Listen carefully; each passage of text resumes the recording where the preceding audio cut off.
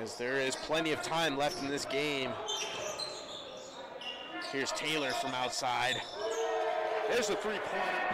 as Lowry was working on him defensively. He's able to break down Lowry's defense. Here's another jumper from Taylor. He's heating up a little bit. Caden Lowry's able to come up with that rebound. Move the ball over to Dang. Here's Deyonce Taylor for three. Knocks down both free throws. We'll have a minute left to go in this basketball game. Braves with the ball. Taylor takes another three. Man, he's hot.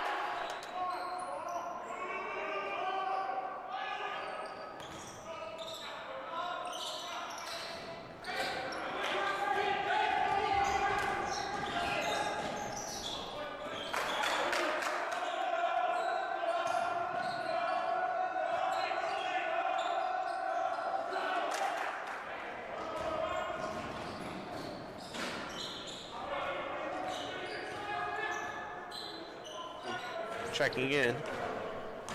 For the Braves, we have Taylor and Dang in this game. Here's Taylor with the ball. He's got a good shot, and he hits. Buries. Good board there by Lowry.